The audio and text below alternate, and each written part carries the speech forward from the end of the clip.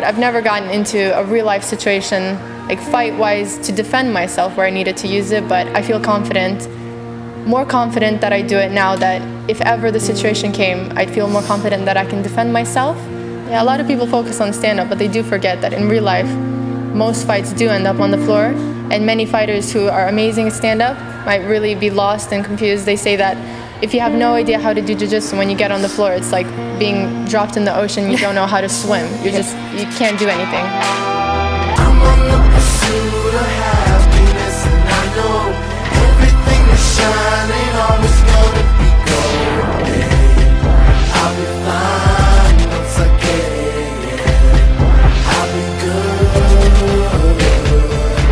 De sport is uitgevonden door boeddhistische monniken uit India.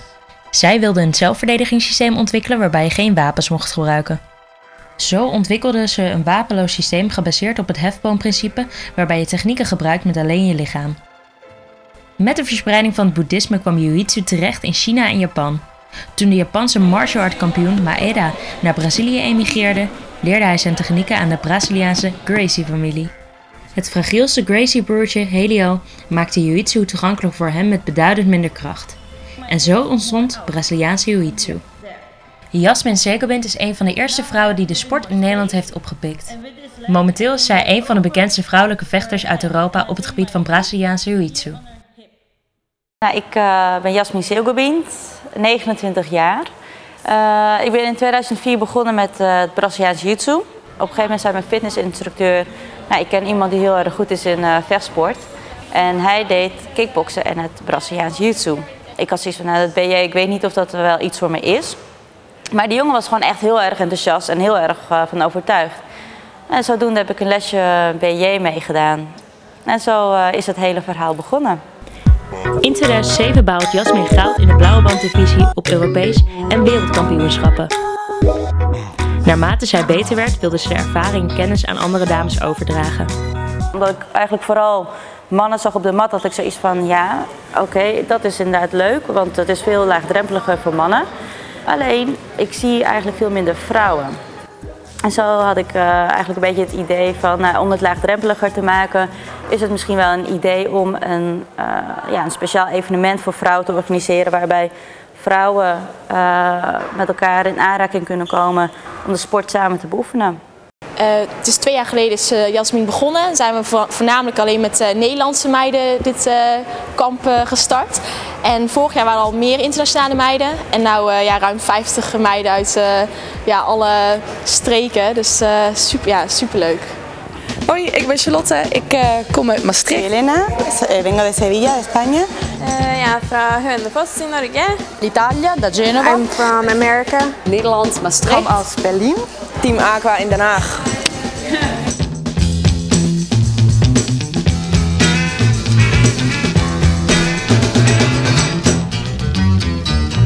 little less conversation, a little more action, please.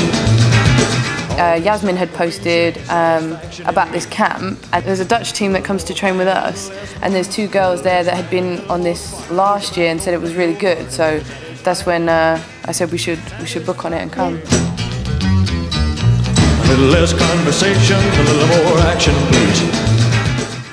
In het weekend van 24, 25 en 26 augustus verzamelen ruim 50 vrouwen zich in Eindhoven voor het Brazilian Jiu-Jitsu Ladies Summer Camp 2012. Dames uit alle hoeken van de wereld komen bij elkaar en richten zich het hele weekend op het verbeteren van hun techniek.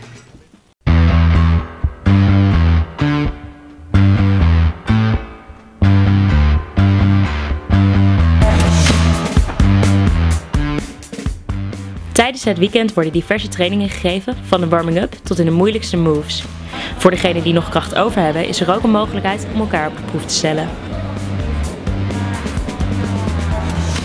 Normally you train mixed classes, only men, and you, there's one or two girls. If you're lucky, there's another girl. In our club, we're lucky because yeah, we, we train together, and we have yeah we have a few other girls in our club as well.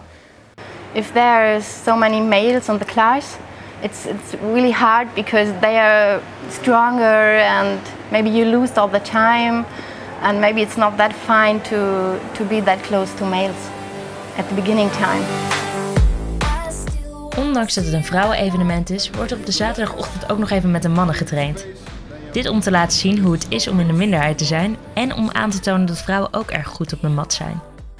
Men train differently. I think with when a, a man is is doing technique or sparring with you, they they don't use their full force. They hold back, and that's quite difficult um, if you want to do competitions and stuff because you you never really get tested to the right level. So. Um, uh, in an event like this, like this camp, there are women that are just as strong as some of the guys, but they won't hold back. So you really do get to feel what level you're at. It's refreshing. Yeah.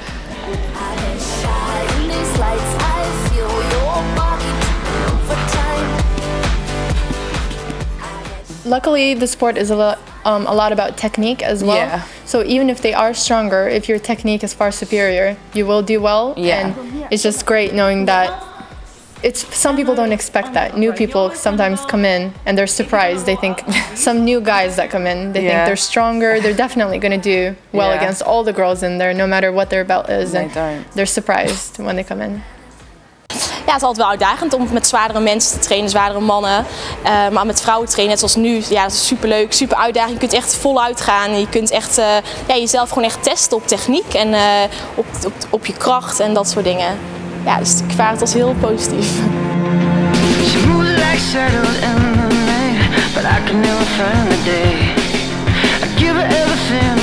To give her, but I can't make her stay. And this is all I have to give, and this is what I have to say. But if my heart should lose you, baby, and you just walk away, then I say. De sport is oorspronkelijk ontstaan als verdedigingsmethode. Toch zijn er meer redenen om wekelijks de mat op te gaan. Um, I don't really take it that seriously. I've done some competitions before, and I would probably in the future, but at this point in time, it's more, more for my enjoyment than than anything else. More for the fun. Yeah, to, to get better, to get to feel that my balance gets gets better, that I get stronger, that yeah, th that I personally get better step by step. Ik vind dit uh, een hele leuke manier uh, van, van bewegen, omdat het inclusief, het is eigenlijk gewoon een vechtsport, zelfverdedigingssport, maar het is het, het, heeft ook zoveel leuke kanten. Zeker nog, het is alleen maar leuk. Ik, ik kan echt uh, mijn lol hierin kwijt. Het is, het is eigenlijk gewoon stoeien, maar dan met techniek. It's not just an experience, it's, it becomes your life. It becomes part of your life, habit, daily, daily thing that you think about it, you go home, you dream about it, you think, talk to your friends about it. People think you're crazy, they, They have no idea what you're talking about. Yeah. Just people that do jiu-jitsu as well, they understand what you're feeling. Yeah, it is a belief. It's a, a way of life. Jiu-jitsu is a The way Church of of Jiu-Jitsu. life. Yeah. I will live my life to love you. I will live my life for you. I throw my heart into the ocean, darling, I'm with you. And I say.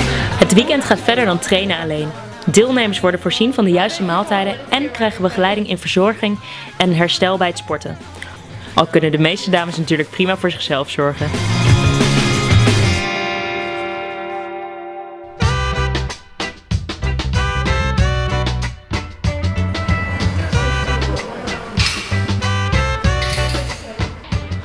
Het is zaterdagochtend. Omdat voeding een belangrijke basis is, wordt er veel aandacht aan besteed tijdens het evenement. De deelnemers krijgen een lezing van Sarai Pannenkoek die hen alles uitlegt over voeding en het verzorgen van je lichaam. So I just want to inform you about the struggles that a lot of females have. Uh, ja, Braziliaans jiu dat vraagt heel veel van je lichaam. Uh, we trainen best intensief en daarnaast uh, ja, de wedstrijden zijn ook echt heel intensief. En als je ja, geluk hebt, dan mag je nog een ronde en nog een ronde en nog een ronde vechten ja, voor die plak. En ehm, ja, het is gewoon heel belangrijk